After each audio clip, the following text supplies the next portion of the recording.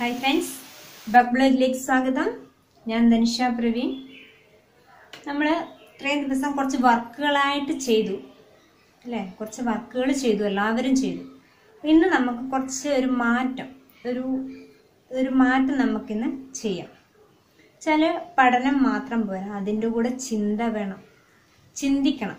കുറച്ച് ചിന്തിക്കാനുള്ള കാര്യങ്ങളും ടിപ്സുകളും എല്ലാം ഇന്നത്തെ ക്ലാസ്സിൽ ഞാൻ ഉദ്ദേശിക്കുന്നത്. ചിലർ അതിന് മുമ്പ് ഞാൻ കുറച്ച് കമൻസിന് ആൻസർ തരാം. കുറച്ച് ആൾക്കാർ എന്നോട് ചോദിച്ചു എങ്ങനെയാണ് എയ്റ്റും ടു എല്ലാം ആഡ് ചെയ്യാം? എയ്റ്റ് എങ്ങനെയാ? എയ്റ്റിൻ ആഡ് എയ്റ്റ് അതിന്റെ ഒപ്പരം ഒരു ടു എല്ലാം എങ്ങനെ ആഡ് ചെയ്യാം? അപ്പോൾ അങ്ങനെ ചിന്തിക്കുമ്പോൾ നിങ്ങളൊന്ന് ചിന്തിച്ച് നോക്കൂ. ഒരു സിക്സ് തന്നു. സിക്സിന്റെ ഒപ്പം നമുക്കൊരു ഫൈവ് കൂടി ആഡ് ചെയ്യണം പറ്റുമോ ഇല്ല. അതുപോലെ ത്രീ തന്നു. ത്രീന്റെ ഒപ്പം ഒരു ത്രീ കൂടി നമുക്ക് ആഡ് ചെയ്യണം. ഇതുവരെ പഠിച്ചതിൽ നമുക്ക് സാധിക്കുന്നില്ല. അത് ഞാൻ ഓരോ ക്ലാസ്സിലും വൺ ബൈ വൺ ആയിട്ട് നമ്മൾ പഠിച്ചിട്ട് പോകണം ഇപ്പം നമുക്ക് നമ്പേഴ്സ് അറിഞ്ഞാൽ മാത്രമേ നമ്പേഴ്സ് കാൽക്കുലേറ്റ് ചെയ്യാൻ അല്ലെ ആഡ് ചെയ്യാൻ കൂട്ടാൻ നമുക്ക് പഠിക്കാൻ സാധിക്കുള്ളൂ. അതുപോലെ ഫസ്റ്റത്തെ ബേസിക് കാര്യങ്ങൾ കഴിഞ്ഞാൽ നമ്മൾ അടുത്തതായിട്ട് എങ്ങനെ ത്രീയും ത്രീയും തമ്മിലുള്ള ആഡ് ചെയ്യാന്നുള്ള നമ്മൾ അബാക്കസ് പഠിക്കും. ഇനിയുള്ള ക്ലാസ്സുകളിൽ ഞാനതെല്ലാം ഓരോന്നും കണ്ടിന്യൂസ് ആയിട്ട് ഞാൻ പറഞ്ഞു തരും. അപ്പം നിങ്ങൾക്ക് അതെല്ലാം കിട്ടും. അപ്പം നമ്മൾ ആദ്യം ആദ്യം അതെങ്ങനെ അറിയാൻ നമ്മൾ ചിന്തിക്കരുത്. നമ്മൾ ഓരോന്നും വൺ ബൈ വൺ ആയിട്ട് വേണം പഠിച്ചിട്ട് മുന്നോട്ട് പോകാൻ. അപ്പോൾ അതെല്ലാവരും ഒന്ന് ഓർത്തിരിക്കാം. അതുപോലെ എന്റെ പ്രീവിയസ് വീഡിയോസ് എല്ലാം നിങ്ങൾ കാണുക. കുറച്ച് പ്രീവിയസ് വീഡിയോസ് ഞാൻ എന്റെ ഡിസ്ക്രിപ്ഷനിൽ ഇടുന്നുണ്ട്. അപ്പോൾ അതെല്ലാവരും ഒന്ന് വാച്ച് ചെയ്യാം. അപ്പം നമുക്ക് ഇന്ന് ചെയ്യാനുള്ളത് ഓറൽസ് ആണ്. കുറച്ച് ഓറൽ ക്വസ്റ്റ്യൻസ് തരാം. എന്ന് വെച്ചാൽ ഞാൻ കുറച്ച് നമ്പേഴ്സ് പറയും. ആ നമ്പേഴ്സ് കേട്ടിട്ട് മാത്രം. കേൾക്കുക അതിന് ശേഷം നിങ്ങൾ ടൂളിൽ ചെയ്യുക എന്നിട്ട് ആൻസർ മാത്രം എഴുതി വെക്കുക. അപ്പം ഞാൻ കുറച്ച് ക്വസ്റ്റ്യൻസ് തരും. അതെല്ലാവരും ശ്രദ്ധയോടെ കേൾക്കുക. ആ കേൾക്കുന്നതിനനുസരിച്ച് ടൂളിൽ ചെയ്യുക. അതിന് ശേഷം ആൻസർ എഴുതി വെക്കും. അപ്പോൾ അടുത്ത ദിവസം അതിന്റെ ആൻസർ ഞാൻ പറഞ്ഞു തരും. അതുപോലെ ഇന്ന് ഒരു ഗെയിം ഒരു ഗെയിമല്ല ഒരു ചിന്തിച്ച് നമുക്ക് കുറച്ച് ചിന്തിപ്പിക്കുന്ന ഒരു പിക്ചർ ഞാൻ തരും.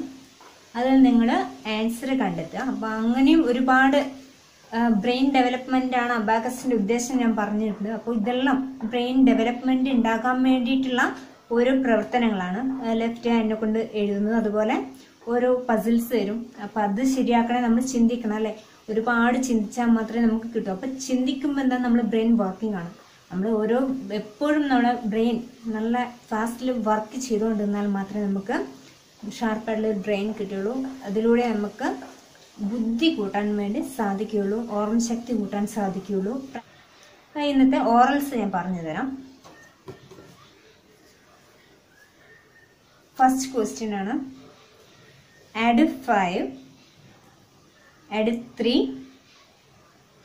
less six add six answer എഴുതുക. അപ്പം നാല് നമ്പേഴ്സ് ആണുള്ളത്. അതിന്റെ ആൻസർ എഴുതാം. കേൾക്കുക മാത്രം ചെയ്യുക എന്നിട്ട് ആൻസർ എഴുതുക. എഴുതേണ്ട ആവശ്യമൊന്നുമില്ല.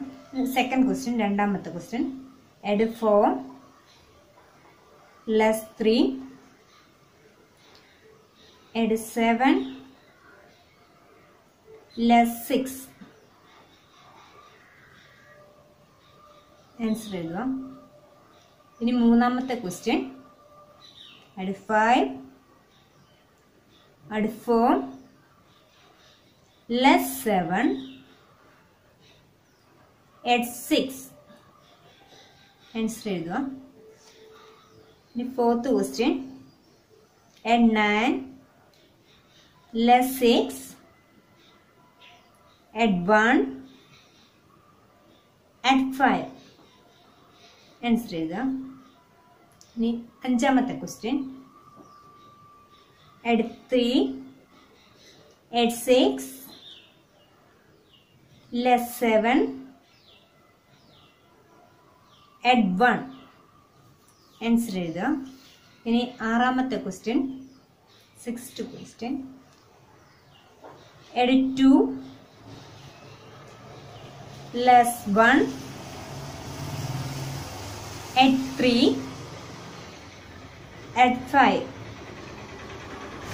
ഏഴാമത്തെ question at 8 plus 8 at 1 at 6 ഇനി എട്ടാമത്തെ question at 3 at 5 plus 2 at 3 ഇനി ഒമ്പതാമത്തെ question at 2 at 5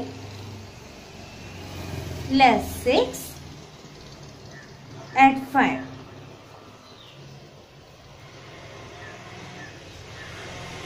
last question പത്താമത്തെ ക്വസ്റ്റ്യൻ ആണ്.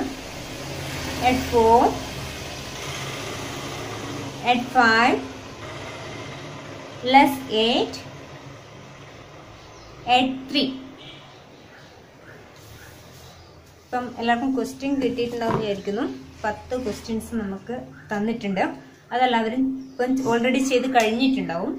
അപ്പം അങ്ങനെ ചെയ്യുമ്പം അടുത്ത ക്ലാസ്സിൽ ഞാൻ ഇതിന്റെ ആൻസർ പറഞ്ഞുതരാം. അപ്പം കറക്റ്റാണെന്ന് ചെക്ക് ചെയ്യാം. അതുപോലെ ലാസ്റ്റ് ഒരു പസിൽ ഉണ്ട് ഞാൻ പറഞ്ഞു. അത് നിങ്ങൾ എല്ലാവരും ഒന്ന് ട്രൈ ചെയ്യുക. അതിന്റെ ആൻസർ ഞാൻ നെക്സ്റ്റ് ക്ലാസ്സിൽ പറഞ്ഞു തരും.